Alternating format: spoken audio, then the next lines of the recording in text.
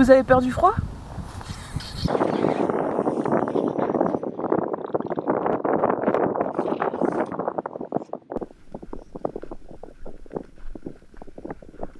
Salut les petits loups, comme vous pouvez le voir, on n'est pas gêné par la foule.